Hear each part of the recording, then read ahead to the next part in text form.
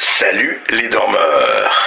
Eh bien écoutez, moi, je vais vous dire, je savais depuis toujours que quand j'avais ça, quand j'avais ça, quand j'avais ça, j'étais heureux. Je savais que ma banque de dépôt protégeait mes maigres avoirs et que je ne risquais rien. Aujourd'hui, je ne sais plus.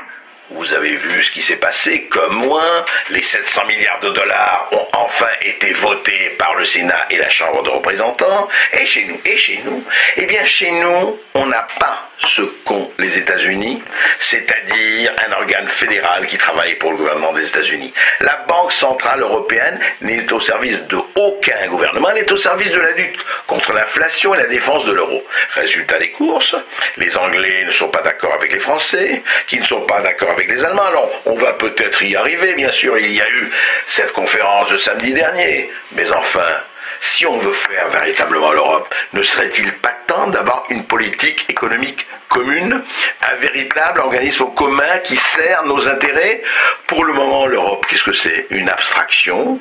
Quand il s'agit de régler les problèmes du Kosovo et de la Bosnie, on appelle les Américains. Et quand il s'agit de régler nos propres problèmes économiques, on doit faire 40 réunions pour harmoniser nos politiques. C'est comme ça qu'on fera les États-Unis d'Europe Ou alors est-ce qu'il ne vaut pas mieux revenir à la bonne vieille nation? Je vous pose la question, mais pour cela, réveillez-vous.